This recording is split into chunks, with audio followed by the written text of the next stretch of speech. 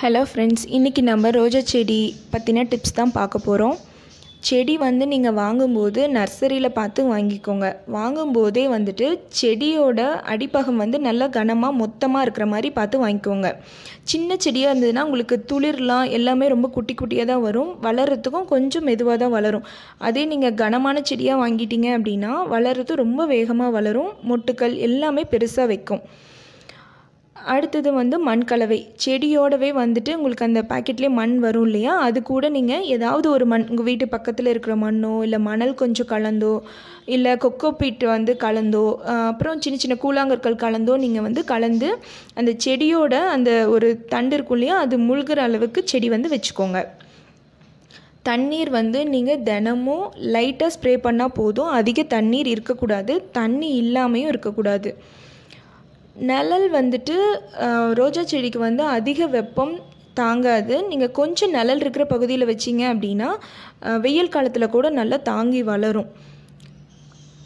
மண்ணை வந்து ஒரு ஃபிஃப்டீன் டேஸ் டுவெண்ட்டி டேஸ்க்கு ஒருக்கா லைட்டாக கிளறி விட்டுட்டே இருங்க. அப்போ தான் வேர் வந்து புதுசாக நிறைய துளிர் விட ஆரம்பிச்சிடும்.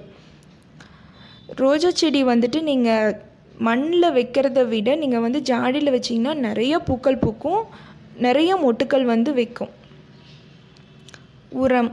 உரம் வந்துட்டு நீங்கள் மண்புழு உரம் ஒரு டைமாவது நீங்கள் கண்டிப்பாக வாங்கி யூஸ் பண்ணணும். அப்போ தான் உங்களுக்கு வந்து குட்டி குட்டி மண்புழுக்கள் வந்து அதில் வர ஆரம்பிக்கும். அப் மண்புழுக்கள் வந்தாலே வந்துட்டு அது ரொம்ப ஈஸியாக வந்து நீங்கள் போடுற எல்லா கழிவுகளையும் சீக்கிரமாக மக்க ஆரம்பிச்சிடும். அடுத்து வந்துட்டு நீங்கள் கொக்கோ பீட் வந்து யூஸ் பண்ணுங்கள் கொக்கோ பீட் எதுக்கு அப்படின்னா நீங்கள் கொக்கோ பீட் வா கிடைக்கலன்னா கூட நீங்கள் நார்மலாக உடைக்கிற தேங்காயிலிருந்து வர நார் கூட நீங்கள் மேலே பரப்பி விடலாம். அப்படி போடும்போது உங்களுக்கு ஈரம் வந்து இருந்துகிட்டே இருக்கும். சீக்கிரம் சட்டுன்னு காயாது. மண்புழுக்கள் இருந்தால் அதுவும் வந்து நீங்கள் ஒரு நாள் தண்ணி விடலைன்னா கூட அதுவும் வந்து இறந்து போகாமல் இருக்கும். சரிங்களா? அப்புறம் நீங்கள் வந்து ஏதாவது இலைச்சருகுகள் அப்புறம் மரத்தூள் கிடச்சா நீங்கள் அதை கூட யூ- மண்ணோட கலந்து யூஸ் பண்ணலாம். ரெகுலராக அரிசி வடிக்கிற தண்ணீர் கலந்து யூஸ் பண்ணலாம். வாழைப்பழம் இருந்ததுன்னா நீங்கள் அதை கூட அரைச்சி குள்ள செடிக்கு கொடுக்கலாம். அப்புறம் தேங்காய் பால் எடுக்கிற அந்த தேங்காயோட வேஸ்ட்டு நீங்கள் ஏதாவது அரைக்கிறீங்க அப்படின்னா அந்த வேஸ்ட்டு அப்புறம் கிச்சனில் வர நீங்கள் எல்லா வேஸ்ட்டுமே யூஸ் பண்ணலாம். கால்நடை கழிவுகள் வந்து உங்களுக்கு கிடச்சிது அப்படின்னா நீங்கள் அது வந்து ரொம்ப மக்கினதாக இருக்கணும். கொஞ்சம் அந்த காட்டம் இல்லாத தன்மையாக இருந்து நீங்கள் அதை வந்து போட்டிங்க போட்டிங்க அப்படின்னா உங்களுக்கு அது ஒரு சிக்ஸ் மந்த்துக்கு மேலவே அதோட சத்து வந்து செடி நல்லா வளர்கிறதுக்கு ஹெல்ப் பண்ணும். அப்புறம் நீங்கள் டீ தூள் வந்து யூஸ் பண்ணலாம். டீ தூள் வந்து கொஞ்சம் சர்க்கரை இல்லாமல் தண்ணியில் ஒரு டைம் நல்லா வாஷ் பண்ணிவிட்டு நீங்கள் அதை யூஸ் பண்ணலாம். அப்புறம் முட்டையோட தோல் இருந்தது அப்படின்னா அதை நீங்கள் வந்து நல்லா வெயிலில் காய வச்சுட்டு அதை அரைச்சி பவுடர் பண்ணி அதுக்கு போடலாம். அப்படி போடும்போது உங்களுக்கு நிறைய மொட்டுக்கள் வைக்க ஆரம்பிக்கும். என்னோடய செடி வந்து கொஞ்சம் மண்ணில் தான் வச்சுருக்கேன். ஆனால் எப்போவுமே செடி வந்து ரொம்ப வேகமாக ரொம்ப ஹைட்டாக தான் வளரும். இது எல்லாமே எங்கிட்ட இருக்க செடி தான் இது பார்த்திங்கன்னா ரொம்ப நீளமாக வளர்ந்துருக்கு. நீங்கள் ஏதாவது பருப்பு வந்து ஏதாவது பூச்சி அரிச்சிச்சு அப்படின்னா நீங்கள் அந்த பருப்பு கூட வந்து லைட்டாக மண்ணை கிளறி விட்டுட்டு அதில் போட்டு நீங்கள் மூடி விட்டுடலாம். உங்களுக்கு ஒரு ஒன் மந்த்லேயே அது மக்கிடும். நான் எல்லா கிச்சன் வேஸ்ட்டும் கண்டிப்பாக செடிக்கு போட போட்டுருவேன். இந்த மாதிரி உங்களுக்கு மொட்டுக்கள் வந்து நல்லா வைக்கும். பூச்சி வந்து பெருசாக இதுக்கு வந்து வெட்டுக்கிளி வரும். நீங்கள் அப்பப்போ பார்த்துட்டே இருந்தீங்கன்னா புழுக்கள் வெட்டுக்கிளி இதுதான் மெயின் பிரச்சனையாக இருக்கும். நீங்கள் அதை பார்த்தீங்கன்னாவே தெரிஞ்சிடும் காந்திபார் சோப்பு இருந்தது அப்படின்னா நீங்கள் அதை தண்ணியில் கலந்து ஸ்ப்ரே பண்ணி விடலாம். அப்படி இல்லைன்னா நீங்கள் இஞ்சி இஞ்சி பூண்டு பச்சை மிளகாய் இதெல்லாம் அரைச்சி ஸ்ப்ரே பண்ணி விட்டிங்கன்னா பூச்சி சட்டுன்னு வராது. மஞ்சத்தூள் இருந்தால் கூட நீங்கள் அதை கூட லைட்டாக ஸ்ப்ரே பண்ணி விடலாம். இந்த செடி வாங்கி ஒன் மந்த்து தான் ஆகுது. இது எவ்வளோ துளிர் விட்டுருச்சு? ஒட்டுக்க ஃபிஃப்டீன் பட்ஸ் வந்திருந்தது.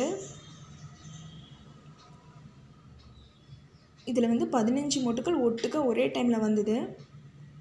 உங்களது வந்து தண்ணி வந்து ரொம்ப உப்பாக இருக்குது அப்படின்னா நீங்கள் வந்து அரிசி தண்ணி இல்லை நீங்கள் மாவு அரைக்கிற அன்னைக்கு எடுக்கிற தண்ணி இருக்கு இல்லையா அது தயிர் கொஞ்சம் கலந்து மோர் மாதிரி இருக்கிற தண்ணீர் இந்த மாதிரி தண்ணீர்லாம் நீங்கள் அப்பப்போ யூஸ் பண்ணீங்க அப்படின்னா உங்களுக்கு செடி வந்து நல்லா வளரும். ஒரு ஒன் மந்த் டூ மந்த்துக்கு ஒரு டைம் மண்ணை வந்து லைட்டாக கிளறி விட்டுட்டே இருங்க சுற்றியும் அப்போ தான் உங்களுக்கு வந்து புது வேர் சீக்கிரம் வர ஆரம்பிக்கும். பூக்கள் பூத்துருச்சு அப்படின்னா நீங்கள் வந்து கண்டிப்பாக செடியை கட் பண்ணி விடாதீங்க. சில பேர் சொல்லுவாங்க ட்ரிம் பண்ணி விட்டால் நல்லா செடி வளரும் அப்படின்ட்டு. ஆனால் வெய்ய காலத்தில் ட்ரிம் பண்ணி விட்டிங்கன்னா செடி சீக்கிரமாக காயறதுக்கும் வாய்ப்பு இருக்குது அது வந்து ஒரு ஒரு டென் டேஸ் டைம் எடுத்துக்கும். அதுக்கப்புறம் குட்டி துளிர் வர ஆரம்பிச்சிடும் நீங்கள் பூக்கள் பூத்து முடித்த உடனே நீங்கள் வந்து சுற்றியும் மண்ணை கிளறி விட்டு ஏதாவது ஒரு பொருள் வந்து நீங்கள் உரமாக சேர்த்திங்க அப்படின்னா சீக்கிரமாக திருப்பி திருப்பி மொக்குகள் வர ஆரம்பிச்சிரும். அப்படி டைம் எடுத்து வரும்போது உங்களுக்கு பூக்கள் வந்து நல்ல பெருசாக மொட்டுக்களும் பெருசாக பூக்க ஆரம்பிச்சிரும். அப்புறம் நான் வந்து எப்போவுமே செடி கூட இன்னொரு செடியும் வச்சு தான் வைப்பேன். இதில் வந்து நான் ஊசி மல்லி செடி கொஞ்சம் வச்சுருக்கேன். இந்த அளவுக்கு பூக்கள் பூக்க ஆரம்பிச்சிருச்சு. ரோஜா செடி வளர்க்குறது ரொம்ப ஈஸி தான். நீங்கள் கண்டிப்பாக ட்ரை பண்ணி பாருங்கள் நிறைய மொட்டுக்கள் வைக்கும். உங்களுக்கு இந்த வீடியோ பிடிச்சிருந்தா லைக் பண்ணுங்கள் ஸ்டார்ட் பண்ணுங்கள் கூடவே பக்கத்து இருக்க பெல்லைக்கான கிளிக் பண்ணுங்கள் சப்ஸ்கிரைப் பண்ணிவிடுங்க